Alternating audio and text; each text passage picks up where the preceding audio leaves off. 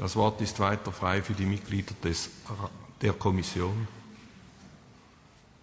für die Mitglieder des Rates. Frau Bundesrätin.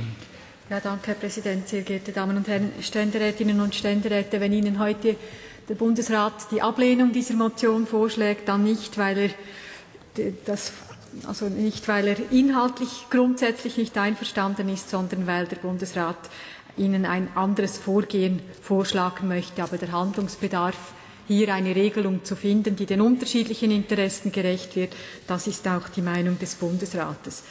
Es wurde gesagt, die politische Diskussion zur Liberalisierung der Pokerturniere wurde durch einen Entscheid des Bundesgerichtes im Jahr 2010 ausgelöst, und zwar indem das Bundesgericht und nicht der Casinoverband, sondern das Bundesgericht entschieden hatte, dass solche Turniere eben Glücksspiele sind und nicht Geschicklichkeitsspiele darstellen und somit eben nur heute innerhalb von Spielbanken angeboten werden dürfen nicht betroffen. Das möchte ich doch auch betonen, weil das zum Teil auch immer wieder anders behauptet wird. Nicht betroffen von diesem Urteil ist das gelegentliche Spiel im Familien- und Freundeskreis. Dass solche Spiele sind erlaubt, waren erlaubt und können auch heute gespielt werden.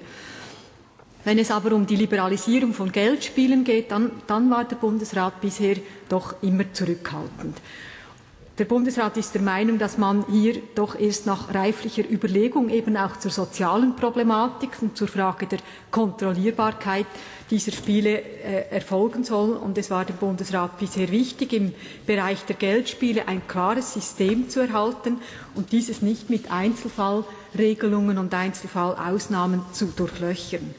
Jetzt nach der Annahme des Gegenvorschlags zur zurückgezogenen Volksinitiative wird die Gesetzgebung über die Geldspiele gesamtheitlich überarbeitet und das gibt jetzt auch einen neuen Handlungsspielraum. Ich darf Ihnen sagen, die Vorbereitungsarbeiten laufen auf Hochtouren. Wir haben sogar bereits vor der Abstimmung damit begonnen. Es gibt eine breit abgestützte Projektorganisation, die eben alle Belange der Geldspiele prüft, auch die Frage der Pokerspiele.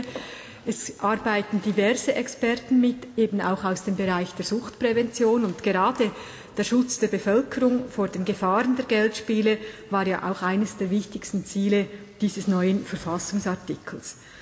Vor dem Hintergrund der Arbeiten, die eben jetzt laufen, möchte sich der Bundesrat heute nicht für oder gegen die eine oder die andere konkrete Vorgehensvariante aussprechen und der Bundesrat bittet Sie, das auch nicht zu tun. Gerade der Änderungsantrag Ihrer Rechtskommission und die Tatsache, dass es sich hier jetzt schon um die dritte Variante der ursprünglichen Motion von Herrn Nationalrat Reimann, äh, Lukas Reimann handelt, zeigt doch, dass es eben schwierig ist, schon heute die richtige Lösung zu bestimmen. Natürlich, Ihre Rechtskommission, das möchte ich durchaus anerkennen, hat gewisse Probleme bereits erkannt. Nuancen wie die Örtlichkeiten, in denen gewisse Spiele erlaubt sein sollen, sollten eben gut überlegt sein, weil sie können entscheidende Auswirkungen haben auf die Kontrollierbarkeit und damit auch auf die soziale Gefährdung. Sie sehen, die Fragen sind offenbar nicht ganz leicht zu lösen und deshalb schlägt Ihnen der Bundesrat vor, heute keine materiellen Entscheide zu fällen, sondern die Ergebnisse der Projektarbeiten abzuwarten und damit auch den Gesetzesvorschlag, der Ihnen der, der, Ihnen der Bundesrat äh, vorlegen wird, das sind die Gründe, weshalb der Bundesrat Ihnen heute beantragt, die Motion abzulehnen. Aber noch einmal, wir sind uns einig, es gibt Handlungsbedarf in diesem Bereich und der Bundesrat ist sehr wohl bereit, auch diesen Bereich, aber eben im Rahmen eines gesamtheitlichen Vorgehens auch anzuschauen. Wir haben folgende Ausgangslage. Die Kommission beantragt die Annahme eines geänderten Motionstextes. Festhalten an der Version des Nationalrates ist nicht beantragt, hingegen beantragt der Bundesrat Ablehnung der Motion. Wer mit der Kommission den geänderten Motionstext annehmen will, bezeuge es mit der Hand.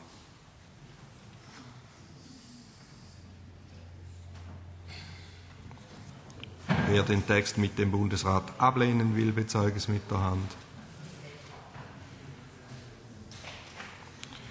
Sie haben dem geänderten Motionstext zugestimmt mit 28 gegen drei Stimmen. Die Vorlage geht zurück an den Nationalrat.